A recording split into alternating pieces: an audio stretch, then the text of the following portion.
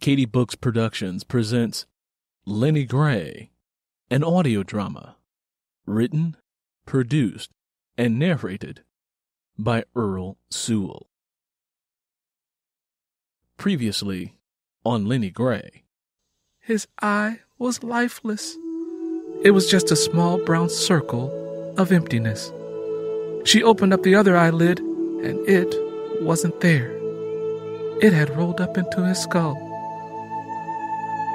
With the next breath, grief clamped down on Lennie Gray and began to choke the life out of her.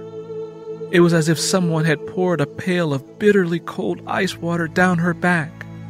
She bucked her spine and arched her head back and tearfully gazed up at the sky. Her mouth opened wide, and she attempted to howl out mournfully, but no sound would pass through her lips. Her chest ballooned with stiffening pain until she was only able to take in short wisps of air. When her body could no longer inhale air, it stopped moving as if every part of her being had become unexplainably lifeless and frozen in time. Finally, her body yielded and allowed her to exhale, forcing Lennie Gray to scream out in grief stricken anguish at the top of her voice.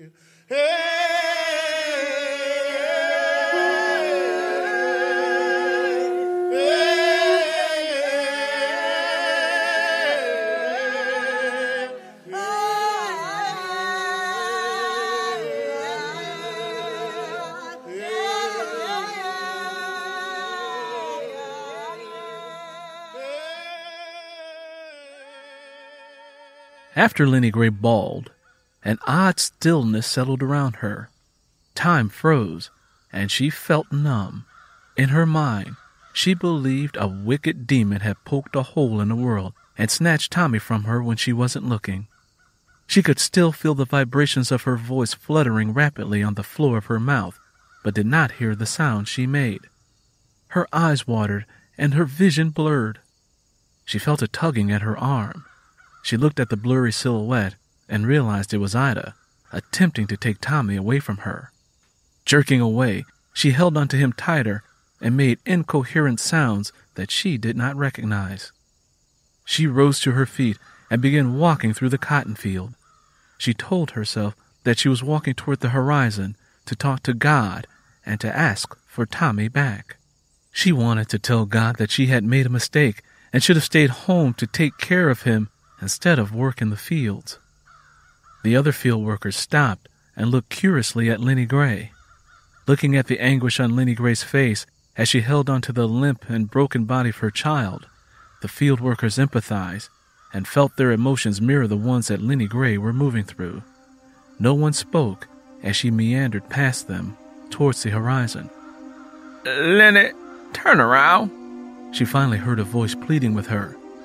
Lennie, let me hide a child, she heard a voice say. It was Ida. Lennie, where are you going with this baby? Ida asked. Curly'll be here soon. It's Curly's fault. That's the reason the demon took Tommie.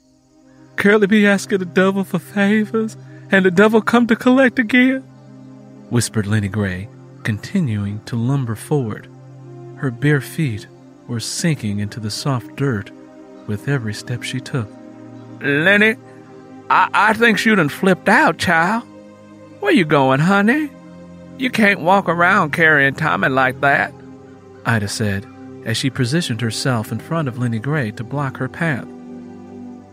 I'm going to see God and Mr. Moon about this, Lennie Gray said. Lennie, God busy right now, and you don't know nobody named Mr. Moon. Mr. Moon followed me to the railroad track the night you made me marry Curly. I didn't want to marry Curly. He crazy.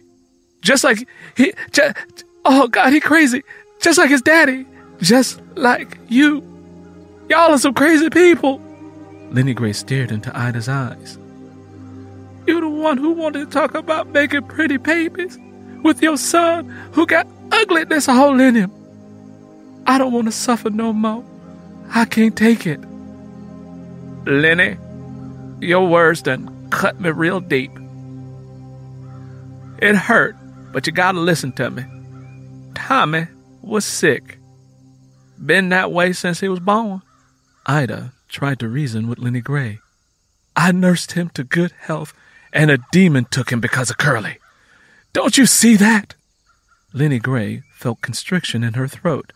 She couldn't speak anymore. All she could do was cry and hum. Then, walking out of the distant horizon towards her, she saw a silhouette. She recognized it. It was John, the one armed gravedigger, walking towards her.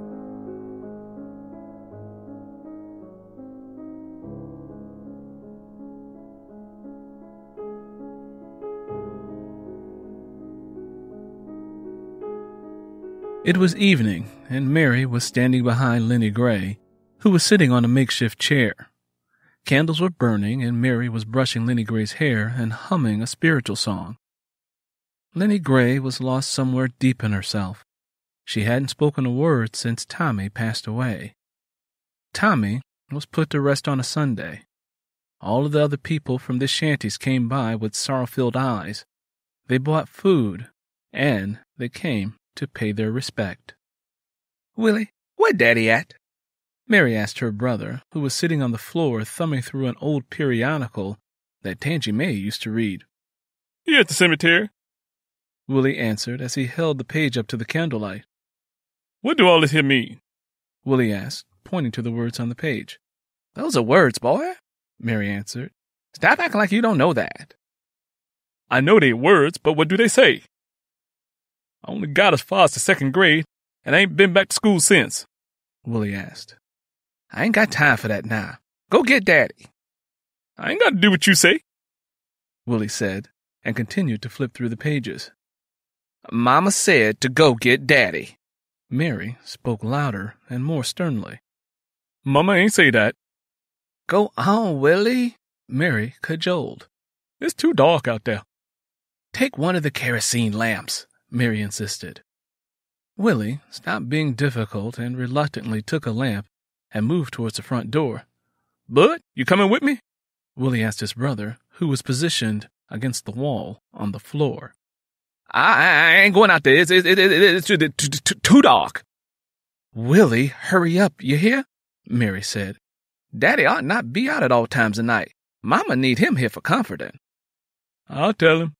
Willie huffed before he walked out of the door. Thirty minutes later, Willie burst into the front doorway, sweaty and breathless. He fell to his knees and crawled over onto the floor where his brother Bud was still resting.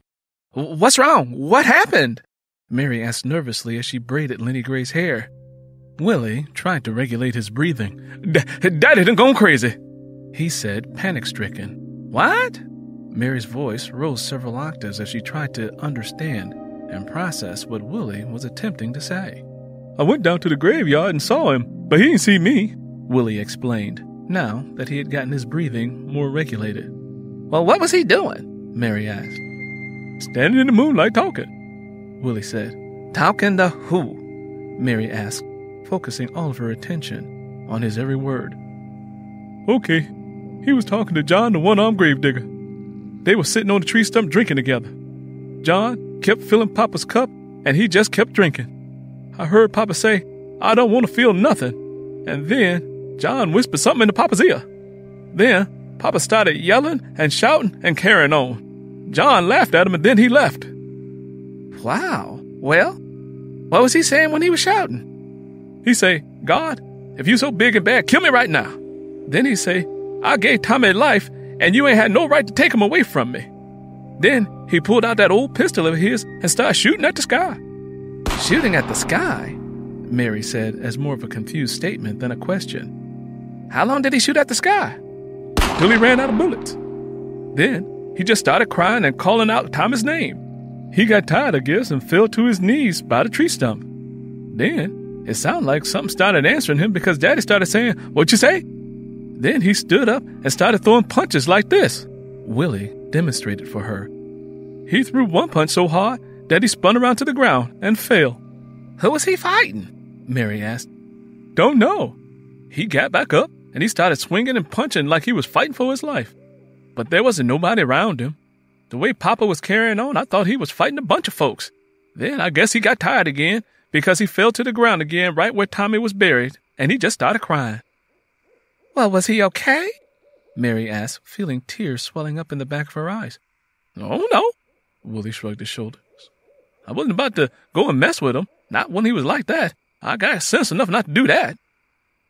Bud, Mary called to him. What? Bud answered. Go get Grandpa Tom.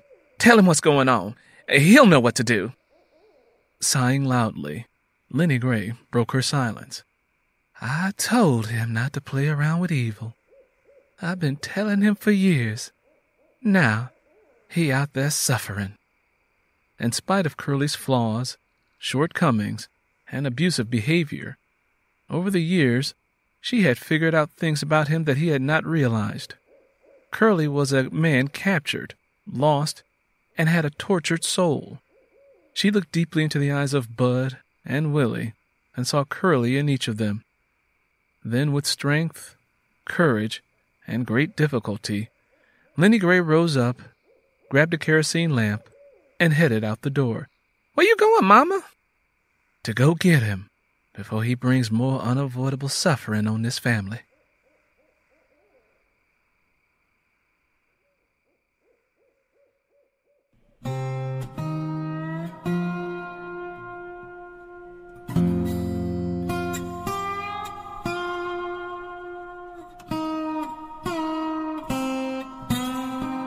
In August of the following year, Lennie Gray and Curly were able to save enough money to get a sow, a few chickens, and a rooster.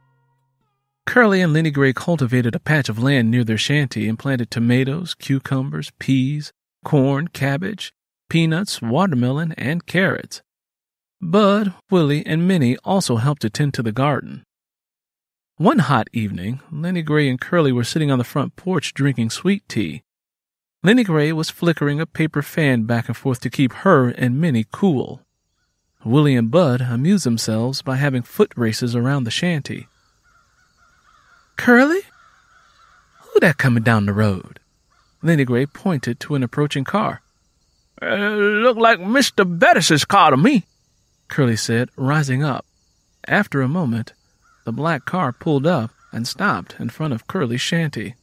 How are you doing today, Curly? Asked Mr. Bettis, trying to sound like they were old friends and not adversaries. I, Curly answered as he approached the car. Mr. Bettis had gotten older and had ballooned into a burly man who liked to smoke cigars. He had red cheeks and white whiskers.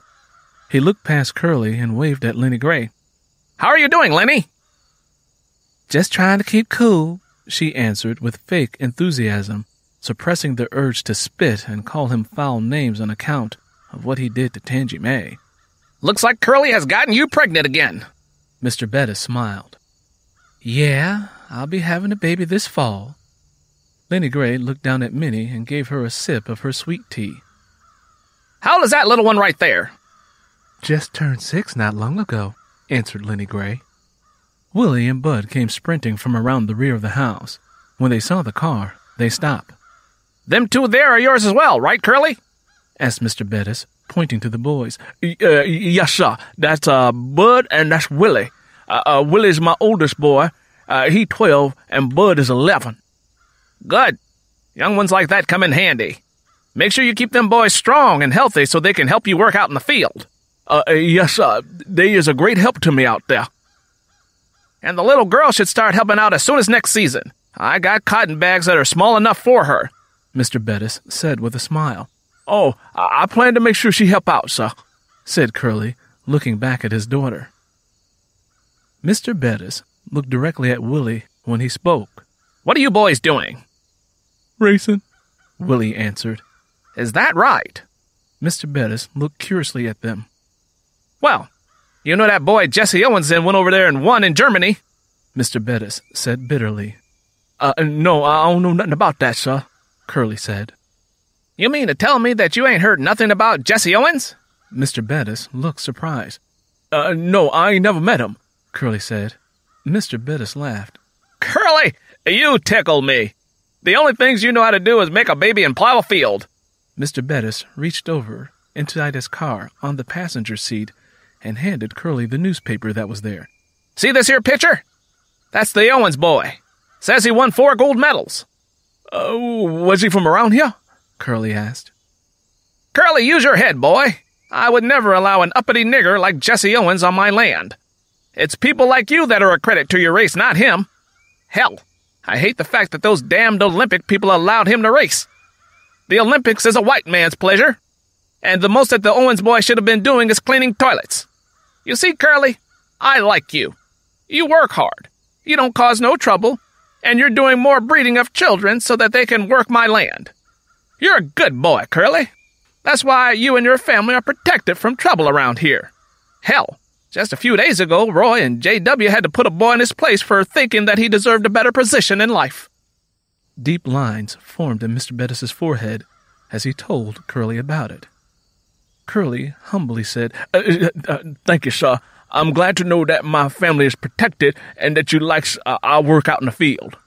Curly, I'm going to show you just how much I like you. Tell them boys to come over here.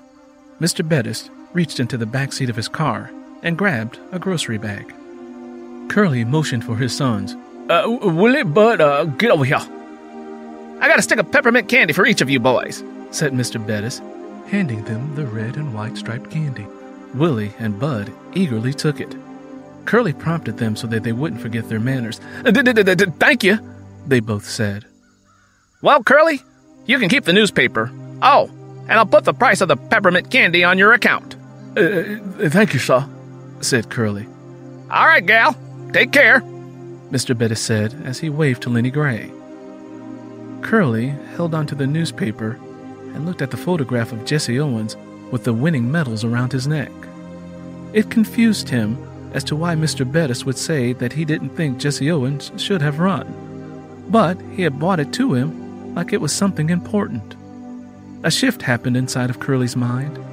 Did Mr. Bettis really like him, or did he hate him? Curly didn't know how to tell the difference because he had a difficult time understanding how Mr. Bettis could smile at him and say something mean spirited at the same time.